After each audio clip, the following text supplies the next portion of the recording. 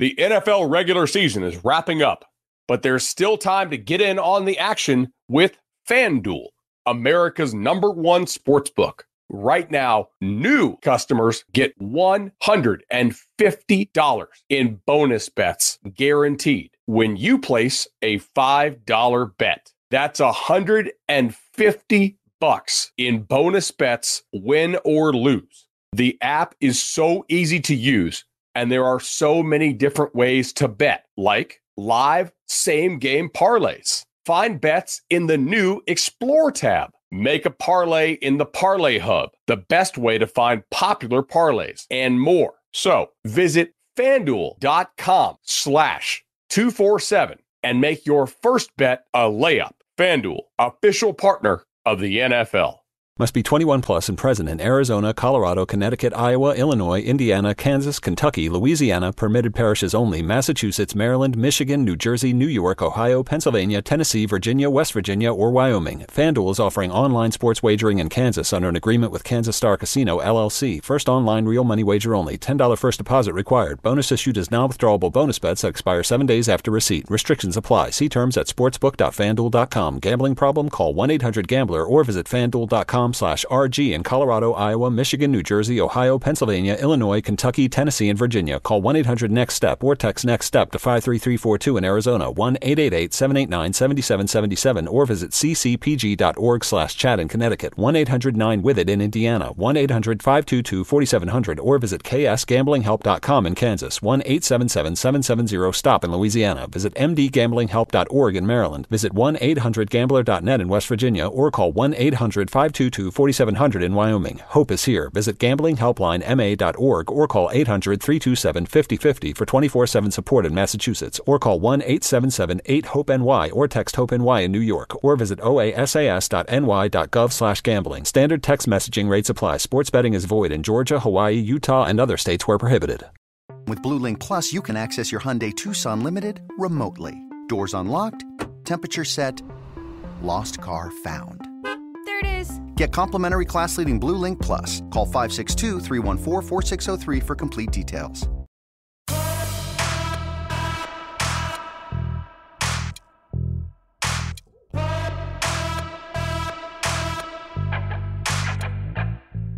Welcome to the Powercat Podcast, GoPowercat.com's Kansas State Athletics Show. Now, here's your host, GoPowercat publisher, Tim Fitzgerald. Welcome to another edition of The Insiders. I am Fitz, the guy across from me. Oh, wait, hold on. That way. Way over there is Brien Hanley. I could never do the weather. A guy who uh, probably could do the weather, but does sports, Glenn Kinley from 27 in Topeka. The man with the voice, the man with the presence. I, I ran out of stuff there. Tim Everson from the Manhattan Mercury. Oh, we don't have our names on the bottom. Is that is that part of the new setup? Oh, hold on. What Good to add happened? They were supposed to be there. They were there earlier. It says display names. People are gonna mix mix me and Brien up if we don't add them. It's not- It's not displaying names, and it's supposed to be displaying names. No, What? uh, cancel the show. Okay, that's not what I wanted, but thanks for putting that up. That was appreciated. Uh, minimal. Okay, th- I still don't want that. Why are you showing that? Uh, it's always In case you hold on. about the Liberty Bowl. Yeah. Yeah, Um, you covered. I mean, what? Why? Why are you showing the the banners? Hide. Hey, here we go. There we go. Why did it do that to me? You know what? It was because last week's show. I got so carried away last week, it, it decided not to work. StreamYard decided he said we can't. Yeah, Yeah. let's put him in timeout. I've got to run my headphones up underneath my sexy shirt, so who cares? Hey guys, uh, let's have a normal show this week. Uh, but I do want to start with a correction, uh, and I put, pointed this out immediately following the show. I had some information wrong last week about a conflict between the university president and head basketball coach. That wasn't correct, um, and I apologize. I, after further review of my notes, the many notes and texts and phone calls and everything, it was between the university president and one of the biggest donors to Kansas State in, in the, outside the locker room prior to that game. So I apologize for getting that wrong. Uh, but there was there was an occurrence. I wasn't crazy. I just too much information. And let's be honest, I'm working with the brain of a monkey. I, I'm sorry. We just gotta we gotta face reality here that this brain ain't what it used to be. Kind of like uh, Kansas State basketball from game to game. Uh, that was guys. Uh, K State loses last night. I've, I've blacked out the score. Um, I, I don't sixty six to forty. So, I, do you remember Mm. Tim? It's like don't know. 60, 62 to 47. Does that I sound right? I think it was 18 points, so 66 Yeah, it was- it was- or something like that. was I don't. close. I, I mean, I've got them right here. I just don't want to ever see them again. Um, dreadful performance. And Yeah. here's the thing: is um, Tim, you were there when your team shoots the ball well. You are a brilliant coach. Mhm. When your team shoots awful and scores 12 points and a half and misses 12 three pointers. Mhm. And by the way, they took 12 three pointers in the second half and missed them all. And they weren't forced, they were open. Mhm. Um, you're not going to win. I mean, that's just that's just the way basketball goes. Yeah, surprisingly, uh, 27.6% from the field is, just isn't going to get it done. Uh, a historically bad Yeah. offensive night. I mean, it's uh, 62 to 46 is, is the score. Thank you. Thank you, Briar Star, in the comments. Uh, uh, yeah, it was tough to watch. And it was, I, I, I don't know about Fitz, you or you guys watching it, but I was, I was kind of waiting because this team has done this before where they've been absolute crap and then have found a way to kind of hit that gear right in time to either you know get get it to overtime or to get get things back on track and uh, that gear just never came and Nope. it was it was uh, you know this is a better nebraska team They're they were athletic. team that's like you know they got they have pieces but this isn't you know this isn't a top 15 nebraska team There- Mhm. there's no there's no world in which that kind of performance should have happened uh, but it did and here we are Yeah, You know, you know, Glenn. Um, some nights your team's going to shoot poorly. That's just the way it goes. Um, and that wasn't my real problem. I mean, that was just one of those things. My real problem was the fact that they got hammered on the boards, Yeah. and and the and particularly the defensive boards, giving Nebraska a lot of 2nd half, second opportunities in the second half. That's what bothered me. I think that's what bothered Tang the most. Uh, Coach Tang said three great days of practice leading into this, and bleh. so when I I got to credit Nebraska. This isn't just K State playing bad. Fred Hoiberg's team came out in the second mm-hmm. half and said, "You know what? We're going to rebound every damn miss and, and turn it into a make," and they did. Yeah, when when you don't shoot the ball well, it's kind of about how you respond to that. And when you're not shooting the ball well, you have to find a way to do everything else right, whether that's defending really well or or rebounding really well. And K State really didn't do either. The defense, I guess, wasn't horrendous, but but they certainly didn't rebound. It's kind of we didn't expect this before the season. Tang talked about what a great shooter Tylor Perry is, and then I think before the season, or maybe right after their international trip, he talked about he said that he's had shooting metrics for their drills that he's been doing since his time at Baylor that he was going to have to adjust the standard on these drills because they were hitting so many shots. So it's on I don't want to say unusual because because they haven't shot the ball great this year, but unexpected is the better word uh, for them to shoot the ball this poorly. You have to hope that it doesn't continue, but if it does, like I said, then you got to find a way. It, if you're not shooting the ball well, then quit taking the threes and find a way to get it in the pit post. Find a way to get layups. I, I Yeah. great idea, Glenn. Just Yeah. just get the open layups. Uh, they I should suggest that to them. I know, but it's more about what do you do when you're not shooting it well because that's going to happen, and and the best teams win when they're not playing well or not shooting well.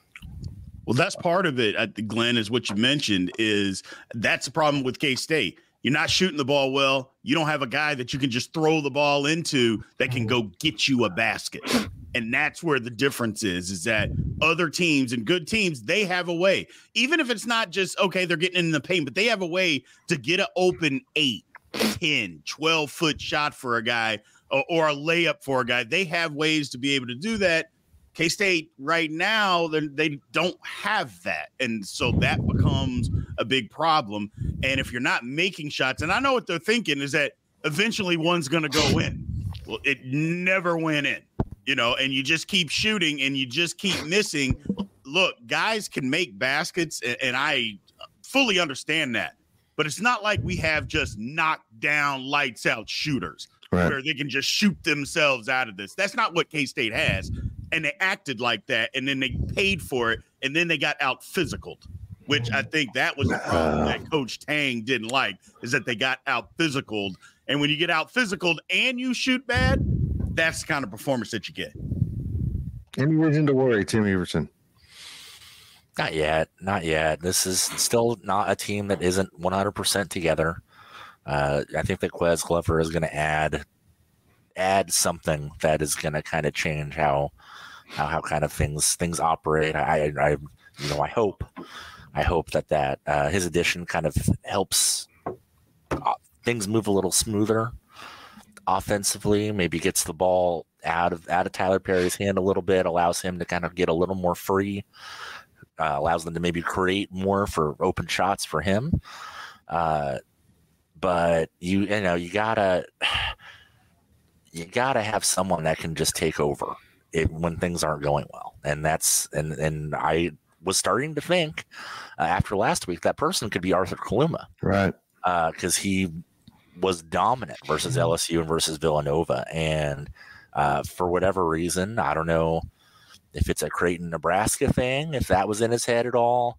Uh, I did notice that the Nebraska fans in the arena were especially loud whenever he uh, went to the free throw line opposed to other people. Uh, I, I don't know, but there, there's you got to go. Wichita State's decent, but not great. You got to go, got to go win that Mm. and then you have some stuff to figure out in that week and a half before they play uh, Chicago State Right. and start Big 12 play. So, Glenn, they do play Thursday in Kansas City against the Shockers. Um, I'm not sure if you'll be there, but I hope you are. I hope I get to see you, Glenn Kinley. I'm, I'm going home for Christmas, brother. Oh, they're so selfish. I don't. we can FaceTime if you want. oh, that'd be sweet. I like that. Um, I'll, let's do it from the game so I can show you the game. Just- I'll screen record our FaceTime and run the Oh, highlights in our news. Man, that'd be awesome. Yeah. Um, but this is game now. They got to win. Mhm. Uh, I mean, you want to blow the faith of your fan base, you lose to Wichita State, Yeah. um, which in the past wouldn't have been a big deal, but right now you can't do that. And then after the break, and the, the, the kids are leaving Kansas City. This game was scheduled for this date in Kansas City, so they got five days. To, they fly out the next morning, five days at home. Then they play early January against Chicago State, um, and that is supposedly the first game back for Ques Glover. Um, but this this is just a crucial stretch. You got two games, and then you're into the Big Twelve, and Yeah.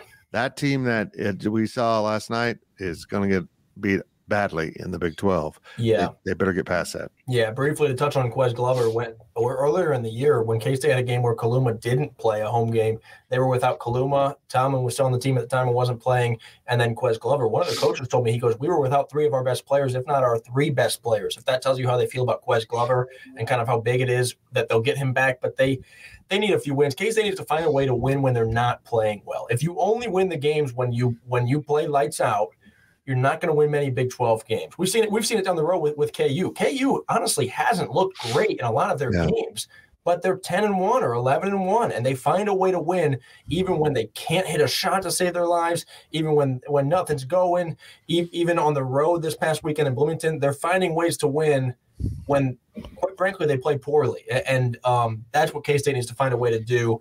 If you're only winning when the shots are falling, if you're only winning or K State's found a way to win when they don't play great, but it's against you. You know who who was it? Uh, Oral Roberts and and teams like that. They got to find a way to beat legitimate teams without everything going right. And, and I don't think it's uh I don't know what it is. Uh, we talked about a few weeks ago. It felt like maybe they have the puzzle pieces, but the pieces aren't put together and they're kind of spread out on the table. I think this past game, the pieces were spread out across three states or something like that. Um, but I think that's still how I feel is that they have these these contributors, and it, it feels like they got to get them to work together. But yeah, it feels like uh, K State for to have a happy holidays. We're gonna need a, a win on Thursday. Brien, that that last night had to be disheartening, but knowing you get to go play another meaningful game to the fan base in Kansas City, you would think the players can wash that and and move on to this because if they really truly had great practices, uh, I'm not overly worried. I'm like Tim, but if they repeat this in any way, I'll be concerned. I just don't see them shooting that poorly again. Mhm. It's the rebounding and the defense I need to see corrected. Yep, that I was just gonna say that. I don't mind the bad shooting night. Not that we want it, but you're gonna have bad shooting nights. It's that they didn't fight. That's where the problem is. And when you're talking about fighting, rebounding and defense is all effort, and we didn't see that. And it, it, basically, they elect they let shooting affect their their defense. And Yeah. you can't do that. You you literally can't do that. Not if you're going to win meaningful basketball games. And that's what happened. Uh, but it's a learning curve. It's a learning process. Um, guys, you know, who knows where their mental state really is? You know, we thought that maybe it, it's all over, but these are still kids. You know, they're still younger men. Uh, so y- you don't know what happened. But the bottom line is they just didn't play well. They they missed a ton of shots. They let it affect them on on the other end of the court, uh, and they kind of gave up a little bit. I'm not saying they quit on the team or on each other, or if they just said, you know what, we're not going to make any shots. We're just not tough enough. This just isn't our game, and they kind of figured that out about 13 minutes to go in the second half, and then that was the end of it. You know, so Yep. uh, but they got to bounce back. They got to bounce back. This is a good opportunity. Uh, again, as I mentioned before, they're young men slash still kids. So a lot of times you can throw that right out of there, a stinker right out of there, and get back at it. You know, I think they need to get get up and down the court a little bit more. I think they need to run a little bit more, get out and get some more layups, uh, push the pace even more than what they're already doing. But again, they got to be able to get some baskets in the paint. They just have to be able to do that. And that's the problem is that you got to get paint touches, paint points more than anything. But you definitely got to get the paint touches, but you got to be able to find a way to get some scoring in there. Yeah, uh, Fitz and Tim, I'm curious for you guys that were there. We had a reporter there. It wasn't me, but sh- she said it seemed like Tang actually, after a loss like that, you expect him to, you know, be furious. He didn't seem. What did you guys think? He didn't seem furious. Maybe that's a message to his team. Hey, let's just drop this one and move on. I think that's probably a coaching um, strategy of knowing when to to tear into your guys and knowing when to say, "Hey, go home and let's get the next one." What what do you guys think? No, Glenn, Glenn, you're right. From from what we were able to to tell from the post game, uh, he was more upset about the fact that a couple of uh, a couple of the bench players decided to run straight to the locker room after the game instead of go around and give all the fans high five uh, than he was uh, than he was about the game. Uh, I think that uh, he really, I think it was the bad shooting. I think that he just really chalked it up mainly to that. He, according to him, he he felt that the effort was there. Again, he was very high on the practice that they had leading into it. He, you know, uh, he was not concerned about anything else. He was like, "There's going to be four games out of the year where just this is just going to happen. Where no matter what you do, I." You know, I'll, I'll leave that to him. I I still feel like there wasn't this wasn't an unbeatable Nebraska performance. No, it wasn't. They only shot Uh, 38% or something. Yeah, Yeah. they didn't shoot great, but they Yeah. rebounded it. Uh, but but still, I mean, uh, he he. I think that he is just trying to just all right. We gotta we gotta just press on. Yeah. We got another game in four days. Go and and and and, and have some good practices, have some good effort, and uh, just have something positive kind of to hang on to going into Christmas. Yeah, Nebraska played Frank Martin ball. Uh, let's throw it up on the rim and go get it, and then you get a shorter shot. Um, maybe you make it, uh, but let's go get those rebounds and score. After the game, I finished up my story. Um, I just grabbed a quote off the post game radio show there in the arena, and then headed up the tunnel for the press conference. And I expected to, you know, arrive during Tang. I was surprised to see him sitting out in the uh, tunnel. And K State, as I, I wonder if it's a the promotion is going to come back for Big 12 season, but they've got a recliner back there that they give away for the free. Someone's got to hit two free throws in that thing or something. And he's just sitting in it, looking at the stats, and he's just kind of laughing like, this is unbelievable how bad this was. you know, there's just uh, unfathomable. Uh, offered to get him a beer. He said no. Um, and I, I thought that was generous of me. I had no idea where I'd get the beer from. but you would have found it if he said yes. Yeah. yeah, yeah, yeah. Um, but uh, I, I like the way he handles these things. I, I just uh, you know, he went in there and said, "We just the, the coaches failed these guys. We didn't have them ready to rebound at this level. Uh, they they showed something that we're not protecting the backside of the rim on shots, and that's you know, as Brien will tell you, you put the ball up, particularly from the side, it's most likely going to the other side of the rim um, if you miss it, and that's what Nebraska took advantage of. And I'm not in any way blaming the officials, but the officials let Nebraska come over the top of blocked blockouts quite a bit. There was some that were pretty egregious, you know, pretty obvious that they got away with. And but if you got to adjust to your officials, if that's what they're doing, man, you got to you got to find a way to adjust. It, it was overall a frustrating, uh, frustrating night or day. Um, but a good crowd, more than 10,000. The crowd stuck around for Jerome Tang's, uh, part of the crowd stuck around for Jerome Tang's radio show. That was an interesting thing. That, you know, I had one of my subscribers at Go Cat, you know, said, Hey, I want to try to get this. Can you help me get it out there? So I did. Um, and um, I don't know how many people, about 500. It was about triple normal, I think, uh, maybe quadruple normal, but boy, they made a lot of noise to show some love and support for Coach Tang. Um, and I discovered why he's late to press conferences. Uh, unlike any of us, he signs autographs. He was signing a lot of autographs after uh, after a bad loss. You assume I don't sign autographs. So I'm sorry. I just I, I, I didn't know. I was going to say I am willing. I am willing. If if there's anyone out there that wants a Tim Everson autograph, just come find yeah. me. yeah. Uh, well, Big B and I don't. Um, no we we don't like to have the little people around us, and we mean that in two ways. I I didn't say that I signed up for free. Yeah. okay, Pete Rose. Um, you're watching the Insiders. We're about a quarter of the way in, a little more than that. Uh, four guys talking about K State sports, and today we're going to talk about more than just K State sports. On the other side of the break, I plan on getting to um, just some bowl feelings about the nine bowl games involving the teams. I don't necessarily, um, you know, we who studied the Tax Act Bowl. No, not me. so um, we'll, we'll just kind of talk about the bowls in general. Uh, we're not really touching on that uh, one topic, that one thing, uh, uh but I do kind of want to round this up with this. I thought it was interesting, really interesting last night. Um, and I guess it happened Saturday at the women's game for the first time ever, they didn't introduce the president of the university to welcome him, welcome you to the game.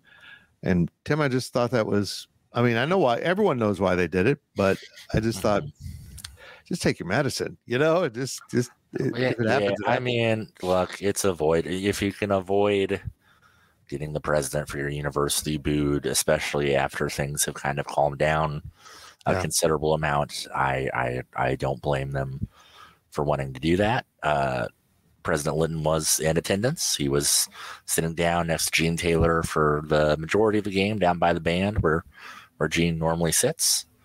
Um, yeah, I mean, I, I, I don't I don't blame K State for doing that because yeah. that's that's only going to, uh, to kind of shake things up more in a in a in a direction that they don't don't want that to happen. So I think they, I, I, think they did the same thing with um, after Avery had the four or five touchdown performance at Tech. I don't think they announced a starting quarterback. They did. They did. Game. Right. They just, they just ran out there for the drive, and usually they say in at quarterback Will Howard, but they just said first down.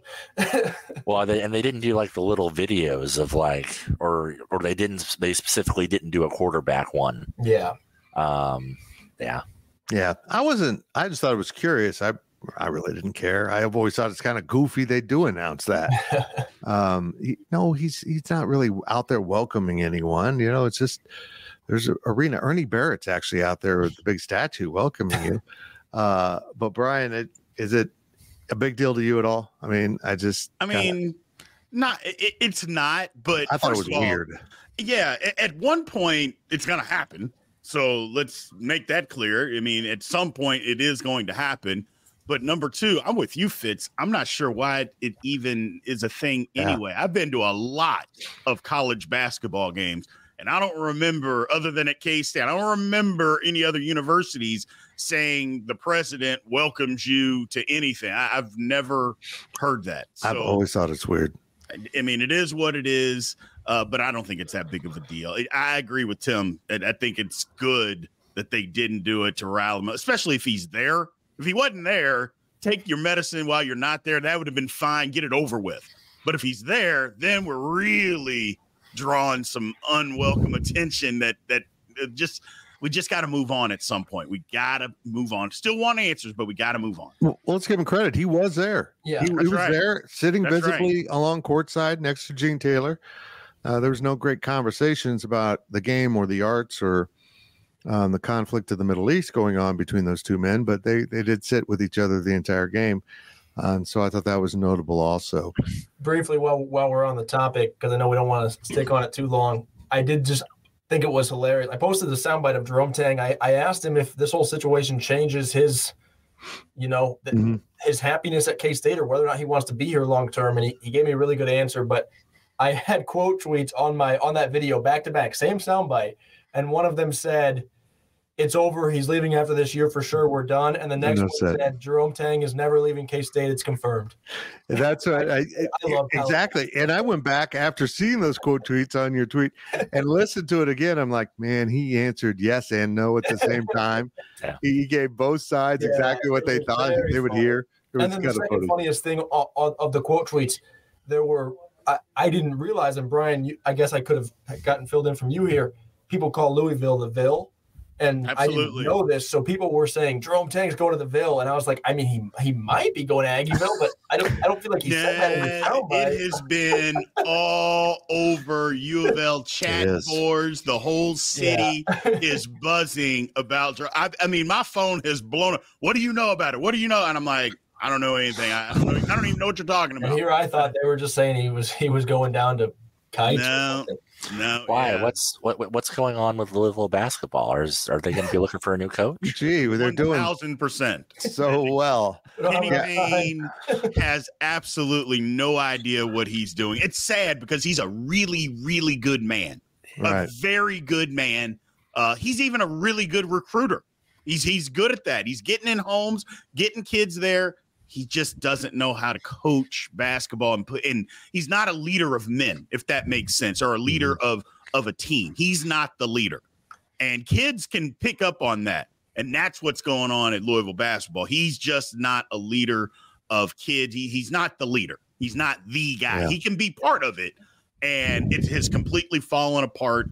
Um, it'll be ugly on Thursday. when Kentucky's going to come there. They're playing in Louisville, and they're expect now it's twenty two thousand people in the Yum Center in Louisville.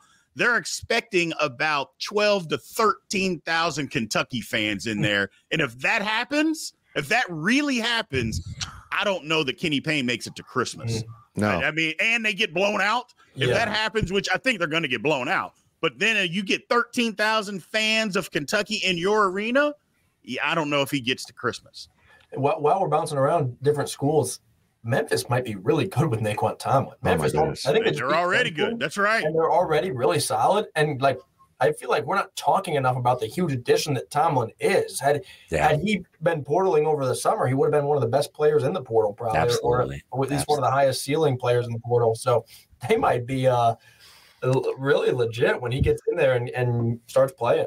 Yeah. I had I a- was skeptical about Penny being able to coach. It seems like he may have talked to the right people and he's got a little something figured out on how to actually Mm-hmm. coach. So I, I think Memphis is going to be really good. They, they people should look out. And they play at Wichita State in January. So Yeah.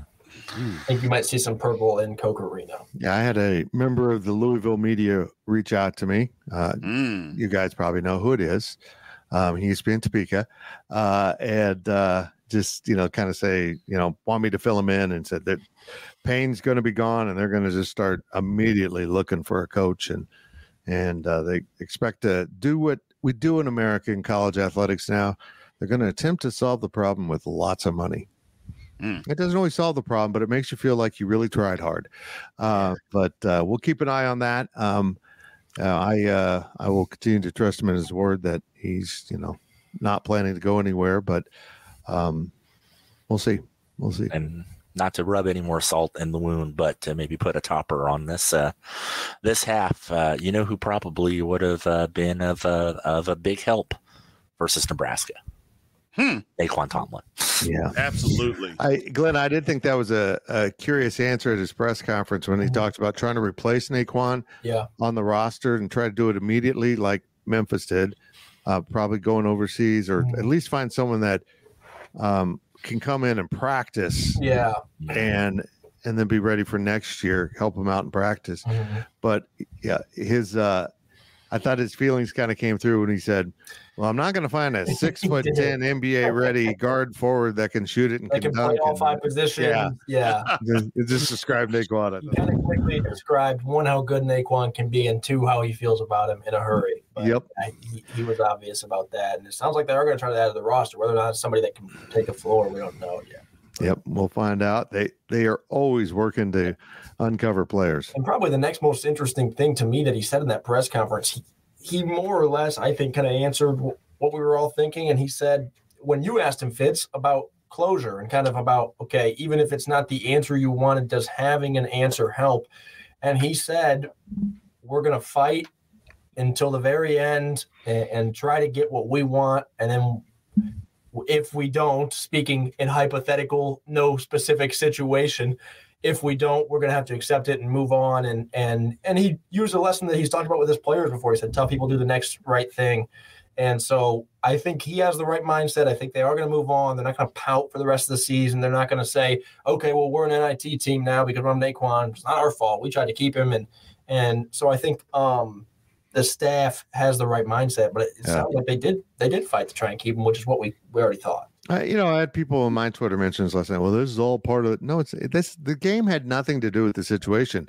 They knew about this when they played at LSU and played so Yeah. well. So, Yeah. um, I, if I think maybe they didn't play well because there wasn't enough distractions this time. exactly they got to get some more distractions. Let me write that down. I'll, I'll work on that. Uh, people seem to think that that's There all I was enough- doing. There wasn't enough drama. They yeah. And Glenn, I was told you were uh, you looked very uncomfortable last week on the show. Was Glenn Kinley uncomfortable? no, I was all right, man. I, I I wasn't feeling well. I I that was people in my mentions though. Say and then someone else replied and said that I was actually in the hospital. And then I think the original person felt bad. So I don't know, man. That worked out then. I, yeah, the, the hospital jokes helped me out, but um no. Well, I'm glad you've moved moved over to the mental ward now with the padded walls. That's yeah, cool. it's looking Yeah. good in here, and I, and I like how the light is just right on top of me. Yeah. but not really in front of me. So the top of my head is really bright. Be thankful it's not me or uh, all, all the immigrants would be coming to Kansas because the beacon of freedom would be shining. You're watching the Insiders. We're going to take a short break right now, and afterwards, we're going to turn our attention to football. We're going to talk about K State December 28th against NC State in the Pop Tarts Bowl. Pop Tarts Bowl. I somehow I've, I've I hate sponsorship bowl names, but some reason I kind of like this one. Pop Tarts Bowl. And uh, we're not going to get into much in depth here. It's not like the four of us are sitting around scouting all the bowl games. Well, Big B might be. That's why you need to watch his podcast once in a while. Watch him. Get go subscribe to his channel. He'll break stuff down. He, he I when I first met him, he was talking about the hoc- hockey, and I'm like, what? He's, he's I'm so confused. He's covering everything. Uh, we stick to K State Big 12 sports for the most part here, and we'll be right back after this short break. GoPowerCat.com's PowerCat podcast continues after this short break. Selling a little or a lot? Shopify helps you do your thing, however you cha-ching. Shopify is the global commerce platform that helps you sell at every stage of your business. From the launch your online shop stage, to the first real life store stage, all the way to the did we just hit a million orders stage. Shopify is here to help you grow. Whether you're selling scented soap or offering outdoor outfits, Shopify helps you sell everywhere. From their all in one e commerce platform to their in person POS system, wherever and whatever you're selling, Shopify's got you covered. Shopify helps you turn browsers into buyers with the internet's best converting checkout, 15% better on average compared to other leading commerce platforms. And sell more with less effort thanks to Shopify Magic, your AI powered all star. Shopify powers 10% of all e commerce in the US. And Shopify is the global force behind Allbirds, Rothy's, and Brooklinen, and millions of other entrepreneurs of every size across 175 countries. Plus, Shopify's award winning 24 7 help is there to support your success every step of the way. Because businesses that grow, grow with Shopify. Sign up for a $1 per month trial period at shopify.com slash odyssey podcast, all lowercase. Go to shopify.com slash odyssey podcast now to grow your business, no matter what stage you're in. Shopify.com slash odyssey podcast. Welcome back to the Powercat Podcast. We are back on the Insiders. Tim Fitzgerald, Brien Hanley, Glenn Kinley, Tim Everson. Guys, I'm actually impressed how many shows the four of us have been together with. I I like have all these backups lined up, and all we've ever had to do is settle on Ryan Gilbert, which is a step down. I we and I think I get notes from the viewers. Why? Why do you let him have a camera? Why, don't let him ha- just black out his picture. So ugly. Um, but uh, here we are. We're gonna start kicking in here. Uh, but let's just start here. Brien, how important is this bowl game for K State? It's a completely different bowl game in the fact that, uh, and Coach Klieman kind of admitted it do- doesn't feel as much like the end of the 23 season as much as the beginning of the 24 season. Absolutely. Uh, I think we're going to start getting into to more of that when you get these bowl games, especially next year when the playoff goes to 12. Uh, bowl games to me are still important, uh, and and especially moving into next year uh, with the transfer portal and guys leaving uh, before because of the way that the rules are set up. I think it it is absolutely an audition for next year. There's going to be obviously there's going to be some guys that are still playing. You know, Cooper Beebe still going to be playing a lot of some seniors, offensive linemen, stuff like that. The guys are going to be out there, but for the most part, look, we're trying to see what we have for next year. And mm-hmm. that's what K State should treat this like as next year. I think that's what a lot of the big other big programs do is that if they're not in the playoff, they are treating this bowl game that they qualify for as uh-huh. okay, what are we doing next year? You know, and, and I mean, and even if Will was here and Will was playing, I think Avery should have gotten 75% of the snaps in the bowl game. That that's mm-hmm. just my personal opinion because we gotta we gotta move forward. That's you know, we gotta see what we got. And those practices matter. Look, I was a part of the practices in 1997 when Michael Bishop got tremendously better from the end of the season to the mm-hmm. Fiesta Bowl. He was a totally different quarterback, and you could see it just from the time he we got to practice all those days. And trust me, Coach Snyder was a stickler when it came to beating us over the head in those practices. There was no walkthroughs or anything like that. We were out there, and I've seen it. Everybody get better. Myself, I got better just going out there and practicing. And then the game is kind of uh, refreshing. Okay, you know what? I did get better. This is working. What the coaches are saying. So I think some of the kids will see that, especially since there's going to be so many young kids out there. It means a lot, Fitz. This mean I know it's a long-winded answer, which I usually No. give, but yeah, it it it it is it means a lot to to those young guys, and, and for people that always say these bowl games are meaningless. They've never participated in one, never been a parent of a kid that went to a bowl game. Yeah, and Brien, I would say you can correct me if you think I'm wrong. I think it's an important bowl game. I don't know if win loss is the end of the world in this bowl game. I care more about what I see, and like you said, the the five six weeks or whatever it is of preparation for the bowl game. I think are huge. I care more about that than I do win loss. It- Yep. if the offense looks great, if Avery looks great, if some young players make make some great plays, and also some young players are going to make some mistakes, but if the effort's there and if Avery throws a few good balls, I think uh, people will be really excited for for the 2024 season. Absolutely. Bowl games are different than what they were back when I played. You know, back when I played, you wanted to win. It mm-hmm. was it, nobody opted out or anything. Times change. You know, I'm not saying that one way is better than the other.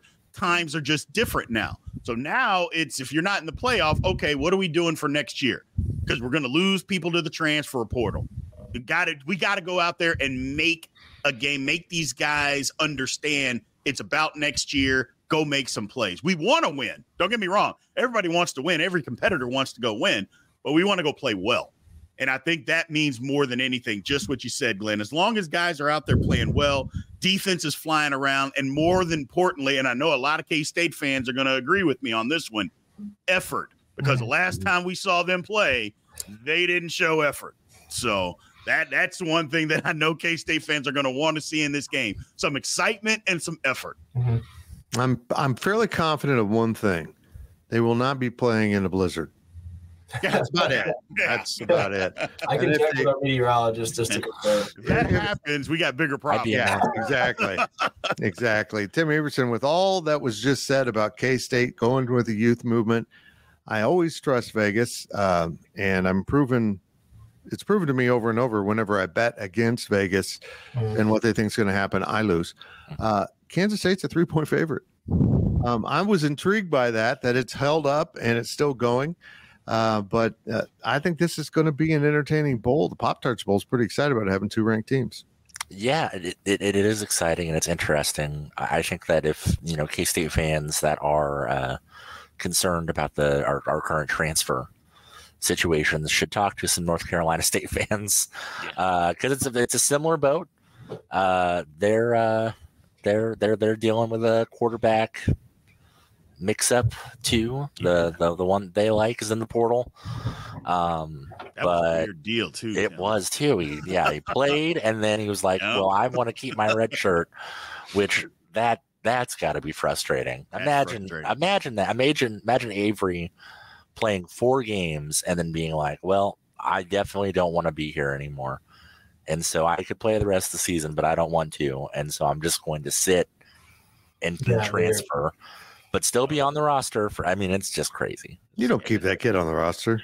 You know, I- uh, wouldn't. You, you absolutely shouldn't. Yeah, and if there's a way you could get rid of his scholarship, you should probably think about doing that too. But Uh, that's just yep. me.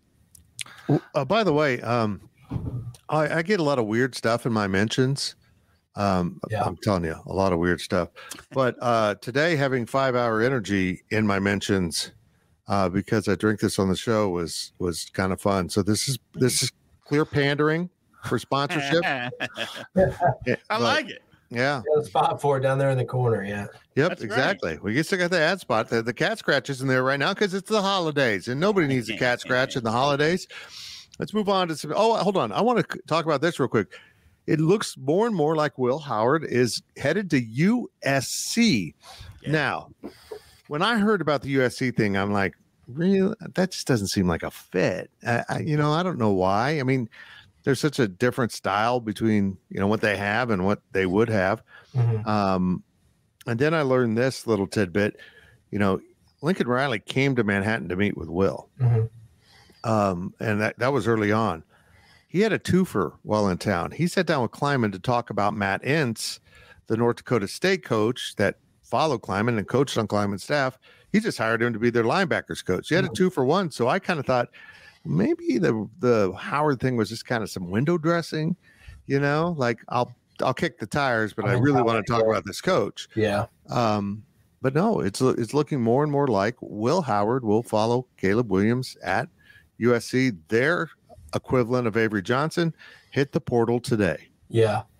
And th- this is what it is for me, Fitz. And this is going to be a, a weird comparison, but I was telling my friends this. This is like for me when the Bears drafted Justin Fields. I love Justin Fields, love the pick. I was all excited about it. And then the Patriots took Mac Jones a few picks later.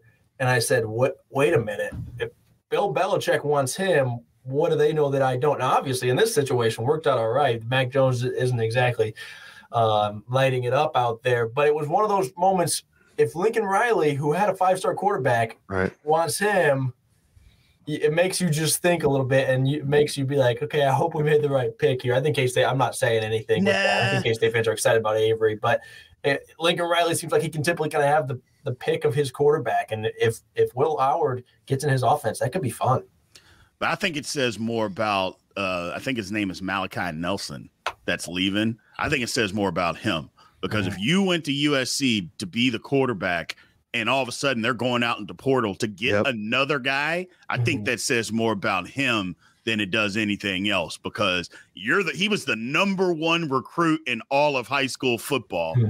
and yet it's your turn and they're looking somewhere else either you're not ready or you are whatever the case may be but yeah i think it says more about that. So if if that's the case for will good for him because while we know that that you know lincoln riley apparently he's trying to do some defensive stuff now. At least he can coach quarterbacks. He knows how to at least Yeah. do that. I don't know if he's a great leader. Matter of fact i'm pretty positive he's not Yep. but at least he can coach quarterbacks. I know he can do that. Yeah, they might only win six or seven games, but they're going to average 42 points a game. that's right Um, that'll help will Tim's now in the dark. Uh, you know that's. I swear it was charged, but whatever. It's yeah that they they they're kind of like my energy levels like you get half charge and like okay i'm done and it just shuts off that's the way i operate now um but tim Downingtown pennsylvania Mhm. to Manhattan, Kansas, to Los Angeles. It it's intriguing to me, but it's also kind of cool because they're in the Big Ten. That team's going to be playing. I would assume. I haven't looked at the schedule. Uh, somewhere closer to home um, in Pennsylvania. I don't know if they play Penn State next year or not, but um, just a very interesting situation. Got kind of cool for Will. Yeah, the, the the manifest destiny of Will Howard, uh, slowly but surely taking over the uh, contiguous United States. I I love it. Mr. LA. personally. Uh, I love it because we all are aware of what Lincoln Riley does for for college quarterbacks. Right. Uh, obviously, I, I've seen a lot of people be like, "Oh, well, I mean, uh, Lincoln Riley running off Malachi Nelson for Will Howard." Yeah. Uh, I get it. okay, why would he? Okay, if he was so good, Why then he he it? would already he would have the starting spot locked up. He'd be playing in this bowl game coming up, and he's absolutely, not. So, absolutely. Well, I mean, it, it it it makes perfect sense that after because he would know after two years Mhm. or after a year of have sorry a year of having him on the roster, uh, he would know if he was ready to go, and if he's not ready, and he thinks, don't you think that any of the other portal quarterbacks, if USC was like, hey, come over here, they they would want to come. absolutely. Lincoln Riley wanted Will Howard immediately. Yep. Immediately, he was here. What uh, that the week after he entered the portal, Yep. and I, I, you know, I, I think that there are a lot of things that Lincoln Riley is not very good at, and I think that the deficiencies that we've seen at USC are just kind of a, a, a growth of of the things that we saw at Oklahoma. Except he ran into a very very good Pac-12 this year, and uh, they he got knocked around. But I, if he believes that Will Howard can be uh, a top tier quarterback in the country, I believe him, and I, I, I think that this is going to be fantastic for Will. This is going to give Yeah. him probably his best shot Yeah, yeah, yeah. to audition To to uh, to be a pro quarterback. Uh-huh. So I'm, I'm excited for him. Yep. I put, pulled up their schedule, and their schedule is incredible. So as far as next year at USC, if he goes, the first game they play LSU. And then the third game, it's Michigan. So, I mean, they play, I mean, Penn State, Washington, Nebraska, UCLA, Notre Dame. So he is going to have the visibility that he is looking for. So more power to him. If that's what it ends up being, more power to him.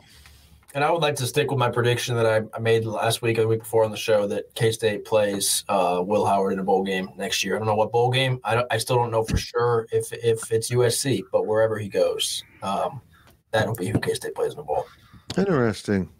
So we're just gonna go cut right to the Rose Bowl, right? I like- hey, who knows? Twelve team playoff. They could meet. They could meet.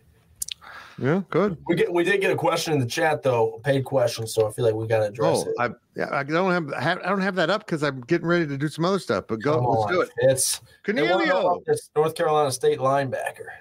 Oh yes. Uh, good morning to you all. That's very nice, of you Cornelio. Are you familiar with the NC State linebacker Elber, uh, who is not playing in our game? And I'm just not saw he's an All American linebacker. Yeah, that they've got some they got some guys sitting this one out. Um, and uh, you know, honestly, I thought it was really funny. Chris Klieman admitted I haven't scouted them one bit. I mean, I'm just working on other stuff. I'll get to it. don't think he, he hadn't been at practice in a while. I get it. I get it, man. So- it's, it's it's that time of the year. You got to do what you got to do. The bowl prep will take care of itself. You got assistants. You got GAs. You know, you got to do what you got to do. Yep. So, but the one thing is, I do know about that linebacker because again, I follow Louisville. They played Louisville. The guy was all over the field. I think Uh-huh. he's probably the number one or two best linebacker in the country. I know because he's a first team All American. A lot of people say that, but just uh, there's a lot of times a guy may not be a first team All American is better than those guys. This guy is legitimate. So K State's catching a, a, A break solid here. break. Yeah, Well, they we're- catching a break here. While we're talking linebackers, maybe the biggest news that not many people are talking about from this past week is Austin Moore announced he's going to come back next year. Guys, did. that, he's Yeah. good. That's so he and that, that linebacker group all of a sudden looks terrific for Yep. next year. Mm-hmm. You're talking about Austin Moore, Desmond Purnell, and then two young guys who I thought actually were really good this year, Jake Clifton and Austin Romaine. I think Jake Clifton's going to be a stud. So you're looking at four linebackers that that are coming back next year that Plus Asa Newsom Yeah, Yeah, I was Asa gonna Newsom looks really good. Next. would have been probably He'd have been a I close to think all he'd been Big 12 level. Yeah. Yeah. he was looking so good early in the season. Mhm. So, This- I mean, they're in a good spot. You know, a- and I know this n- is maybe not where we're trying to go with this fit, so I apologize. I just wanted to bring it up. I know K State fans were just freaking out over the portal, and I, I just I want to reiterate again: we would have seen the same thing had we not gone to the Sugar Bowl last year. And all, and if you just take a second and just dive into it, you're going to lose every single year from here on out until they decide that they don't allow this anymore you're going to lose between 10 and 20 guys every single season. But you're also going to get between 10 and 20 guys every single season. That doesn't mean there's anything wrong with your program. It just means guys want opportunities to go somewhere else. It's just like Will. Will love K State, Mhm. but you know what? He needs an opportunity to go do something else for him, and that's okay. So I just don't want people to freak out. I know people are going to still freak out about it, no matter what you say. But I, I think that for the most part, the transfer portal for again, it's been better to K State than it's been bad.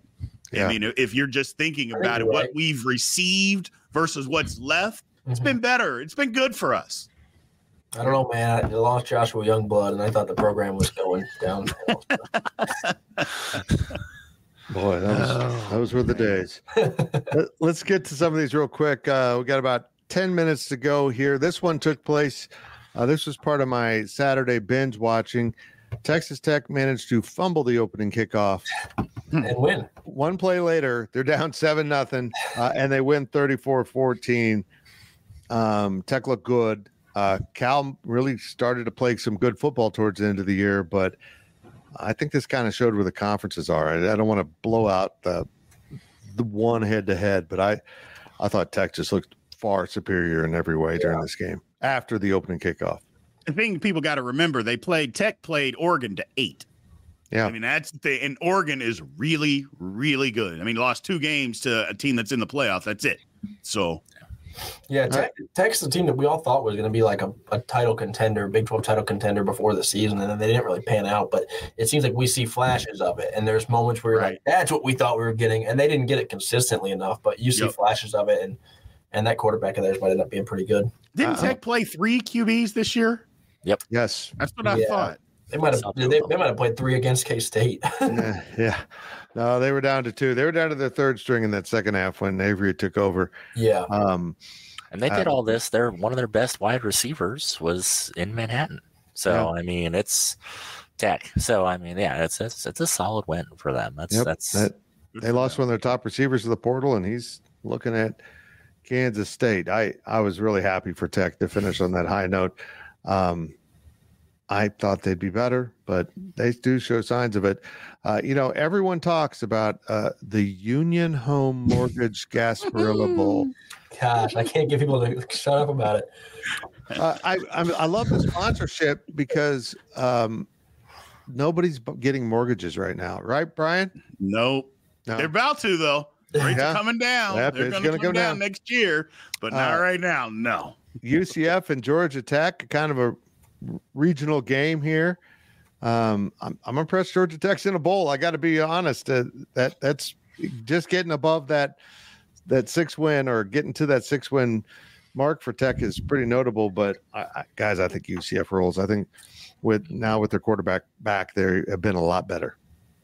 Have they learned how to tackle? That's all that I remember about UCF. Yeah, it's just that They did they- apparently. they came to Lawrence and Manhattan, and I think both teams like combined for like you know a hundred passing yards and and beat them both badly. Yeah, the basically uh, Kansas high school ranks ran for more than 500 yards on that It was DJ Giddens and Devin Neal just being like, "Do you guys mind if I run you over for four quarters?" Yes, it was unbelievable. Next one up, uh, the Guaranteed Rate Bowl, um, which is the bowl in Phoenix. It's been the Cactus Bowl, been a couple of other things. Um, nobody loves it. Uh, nobody wants to stay the sponsor more than a week. Uh, Hmm. But I'm sure Guaranteed Rate is a fine company. Hmm. Yeah. Um, and, and unfortunately for Kansas, uh, th- there was a shortage of P5 schools. So UNLV fills this spot.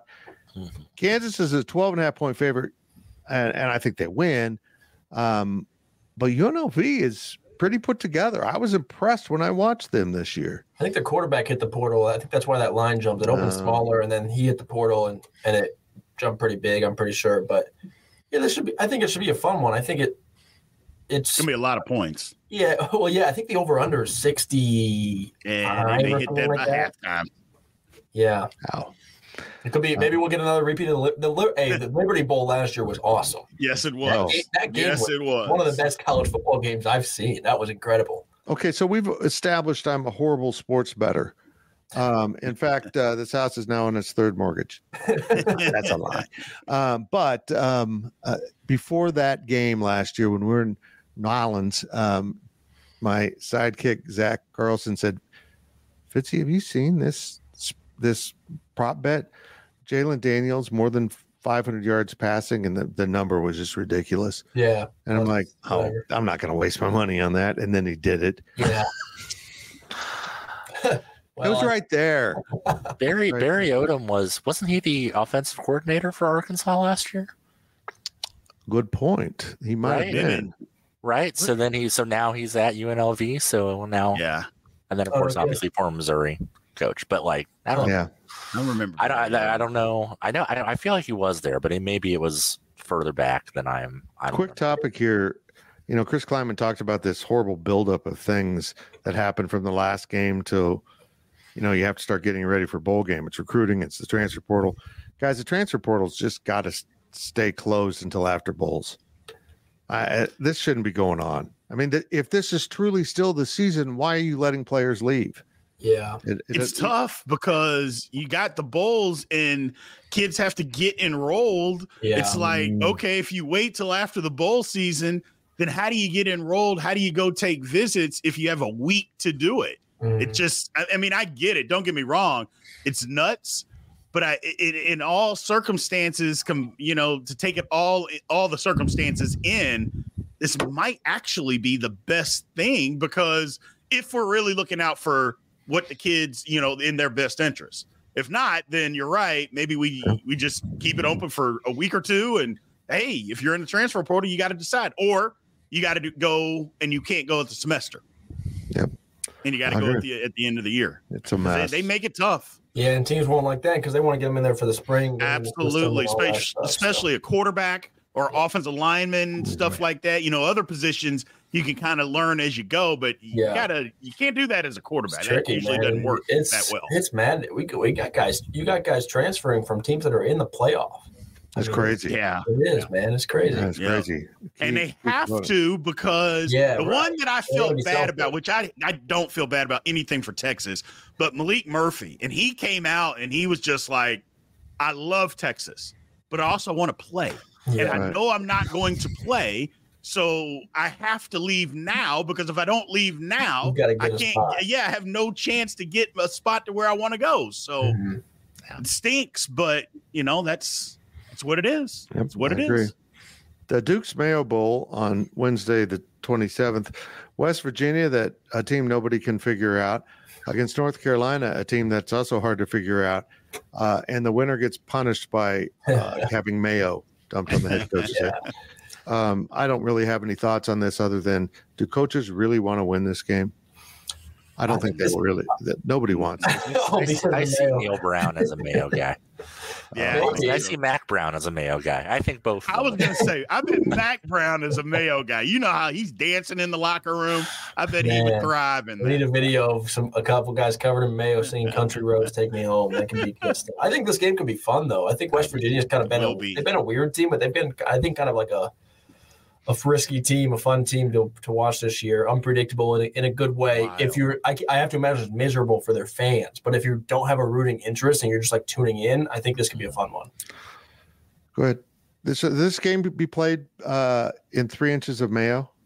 Yes. like the K State game. I think that'd be make a lot fun, Could be. more fun. Uh, this bowl, I, I kind of have a crush on this bowl because I think this bowl is exceptionally well run, and I think it's poised to you know kind of move up the pecking order. You know, Brien, when you played and ended up in the in the '98 Alamo Bowl, that was like a low bowl, and now it's the highest of the non Correct. piece, you know, non New Year's bowls for this conference. I feel like this bowl is poised to do that. And they got a pretty good matchup, but Oklahoma State and A&M both struggled at times this year, even though Oklahoma State, what's that S in there before Oklahoma State? Does anyone know what that is? Uh, why, why is it in there and who put it in there? Um, we're hiding that. And, um, uh, but anyhow, uh, I'm, I, I kind of looking forward to this game. I really am. And I don't Yeah. know why. I just kind of like the Texas Bowl. Yeah. Well, I mean, I think it's a well run bowl. You're right. Um, it's at an NFL stadium. I think it's Mm-hmm. one of the nicer ones in Houston. That's a really nice stadium. Um, but it, they usually match two teams that usually get a, a good game. Right. That's what I should say. They usually get a good game, and I think we're going to get another one here. I think A and M is better than what people think they are, just because they lost some games. They lost some close games, but I think A and M is a little better. I wouldn't be surprised if A and M doesn't win this football game. A&M is in the uh, Mm-hmm. Houston-based Texas Bowl for the 900th time. Just a little tidbit. Um, yeah, okay, also I just, think they don't get to I go know. anywhere. I know. Hey, where are we going? Uh, we're just going up the road to Houston. Oh, fantastic. So when, so when we drive the hour or whatever it is, then we're in Houston. Oh crap! It's still I still feel like Oklahoma State at like they played in the Big 12 championship game. I know, and, and they won a lot of games. They beat a lot of good teams. I, I still feel like they're fraudulent. I they have to. I think they have to be one of the worst teams to play for a Big 12 title in Arlington. Yep. Ever. I would agree. I would agree with that. We already talked about the Pop Tarts Bowl, the Alamo Bowl. What a great matchup. Oklahoma and Arizona, uh, soon to be former Big 12 against future Big 12. A lot of fans will be watching this. I know I'm looking forward to see how Arizona matches up with the Oklahoma Sooners. And is this one a similar one, maybe to um, K State with Oklahoma? I know Dillon Gabriel hit the portal right, and he's going to Oregon now. So I don't know Same how type many of guys they've had in the portal. I haven't looked, but maybe a similar thing for them where um, you're fired up, you're going to a good bowl, but you're using it as a springboard into next year. Yep. Yeah. They have a really good quarterback, uh, freshman at Oklahoma as well. Uh, I can't remember what his name Jackson is. From, Arnold. that's right, Jackson Arnold. He's from Denton, so not too far from where I live. Um, he's really good. He's really good.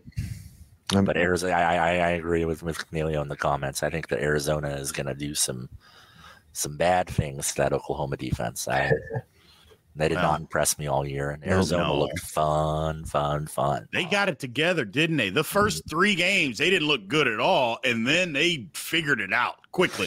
I think they They found the really quarterback. They good. finally found the the Quarterback, yeah. uh, guy. I can't remember his name, but they had the the Jayden de Laura guy, yep. and then they switched. And Yeah. somebody in the comments did mess, uh, recognize this, so I want to throw it out there. If Oklahoma wins, we will be counting as a Big 12 win. Yes. And if Oklahoma loses, we will actually be counting as a new Big 12 school beating the team that actually left the Yes. Thousand percent. One Big 12 thousand win. percent. Just so we're clear, as That's long as right. we specify beforehand, we get to choose how to depict it however we want. I uh, I I did put out a daily delivery today saying the Big 12 needs to root for Texas. And you thought I stepped into controversy last week. oh my gosh. Um, I apologize for that take. I just think you claim it as a win. You claim it for the conference. Squeeze the money out of them while they're here. Exactly. It's probably a I don't want to say a win-win, but um, if if Texas gets like badly beaten up, then you can be like, and you guys think you can compete in the SEC? Really? Like you guys are, are too good to leave our conference, and this is how you perform in the playoff. And if they win, it, it, it's like okay, the, the, you can still kind of claim them. Yep. like I said with the Oklahoma game, and so it, Win win. I think there's a win-win for the Big 12 in a way. The Liberty Bowl. to see like the Big 12 conference posts, you know, a graphic if they if they were to win and peop and the Texas fans just be livid that they're still claiming them. Uh, I, I don't even want to talk about this game. The Liberty Bowl uh, is Iowa State against Memphis. Congratulations, Memphis! You get to uh, play your big your big title game on uh, uh, you know your home field, and uh, that's exciting for them. But uh, they this bowl will feature running water this year, so that's kind of a nice. a step in the right direction. Last year they had a huge water main break, and downtown had no water. That's just what Awesome. happens when KU comes. That's it's just that blubbing issues pop up. happens. yeah. Okay, I see. Uh, and the Big E. Let's wrap it up with this: the All-State Sugar Bowl, the semifinal on New Year's Day. Texas and Washington, despite the seedings you see there with their names, man, Texas is a what four and a half point favorite or something. I was a little surprised by it, boys, but I think Texas is pretty good. I, I think Texas is an exceptional football team when they want to stay focused. I don't think anyone's beating them, but Washington, these might be the two best teams. They they just might be, uh, but Yeah. uh, I think Texas wins this. I do too. Uh, the reason being is because Texas, every now and then, Washington will want to run the football. I know they air it out and that's what they're known for, but they're going to try to run it. They're not going to be able to run an inch. And also, their offensive line isn't great. And we know that Texas's defensive line is. And they are going to get after Penix. They are going to get after him. And also, Washington's defense is not any good. They, let, us just th- say that and throw it out. They're not any good. Uh, Texas will be able to run it. They'll be able to throw it. They'll be able to do whatever they want to. As long as they're not committing penalties and turning it over, they will have a field day against that Washington defense. I know it's painful to say, but Texas is winning this game, and I, I'm not going to be surprised if Texas doesn't win this I whole agree. thing. Was the was the Pac-12 this year kind of what the bit what people Oh, he froze. He froze right in the middle of a thought. Oh no. Oh, do you think he froze forever? Uh, am I am I back? You're back. You know. Yeah, yeah. I, I said didn't Pac- think it, I never once assumed it was the computer. I thought it was you. I, I said Pac-12 and and you cut me off. Yeah. So let's, let's we just I I do have a freeze button here. Oh, I don't like this. I'm going to freeze. Moving it. on. Um, uh, any thoughts on Texas, Tim Everson? Um, I, I'm with Brien. I I I think that that Texas defensive line. I don't think they saw anything comparable to that Absolutely out west, and I I don't think any. I don't. It, it's possible that no one in the Correct. country has seen anything comparable to that. Um, I you know, and then may just be wishing just because you know that being four yards away from a win against Texas, any as far as Texas can go, will make K State look better. But uh, I, I, I, I, I think that they, uh, they're the team this year. I think they're going to do I it. I agree. That's it for this week's edition of The Insiders. We will not be back next week. None of us are working on Christmas Day. That's how close That's we not are to the holidays. That's not Mhm. true. I will be working on Christmas Day. That's true. But I but Yeah, we don't tune in, want for, to. tune in for the Tim Everson solo show There you Oh, go. yeah, exactly. live from Just- Orlando. Just uh, plugging away in Orlando. The insider. Yeah. Insider. We'll just have we'll just turn this into like a a, a live documentary between Yeah. Everson and uh and Cole Carmody and Zach Carlson. Zach, Zach and Cole and I will go live from Fogo to go. Chow Can we on get a Christmas. GoPro? Can we get a Nice. GoPro on Tim in, in Orlando? That's what we need. The Tim Cam. I love it. I love it. Remember, we will do the Fitzcast on uh, the 28th for the Pop Tarts Bowl. If uh, you want to watch at home and then pull us up on another device, we'll be having some fun with that. We might do it again later because January 1st, another day the insiders won't be on, is a uh, is a pretty good slate of games, including Texas. So stay tuned for that. And we appreciate our new potential sponsor, Five Hour Energy, as I continue to kiss their butt because I just want. I'm free open product. to a five-hour energy tattoo. So yeah. Yes. Okay. Yes, I I am. Not on my face because this thing is gold. We'll get a neck tat for sure. Yeah, it's you just don't do that. That's it. We're going away now. Thank you for listening to the Powercat Podcast. Make sure you're subscribing to our show at Apple, Spotify, Amazon, or wherever you get your podcasts. Sunday, the AFC Championship, presented by Intuit TurboTax, is on CBS. The defending champion Kansas City Chiefs go on the road once again to face top seed Lamar Jackson and the Baltimore Ravens with a trip to Super Bowl 58 on the line. That's a touchdown! We'll get you set for kickoff at 1 Eastern with a special two-hour edition of the NFL Today, the AFC Championship, Sunday on CBS and streaming on Paramount Plus. It's the UEFA Champions League on Paramount Plus. Europe's top club soccer tournament. Champions versus champions. The best teams facing off in the knockout rounds. Magnificent! And it all takes place While you're filling out financial reports at work In the middle of your day, in the middle of your week. So use that second screen. Call in sick. Do whatever you got to do to tune in Tuesdays and Wednesdays. Nobody watches the UEFA Champions League like us. Knockout rounds begin February 13th on CBS and stream live on Paramount Plus.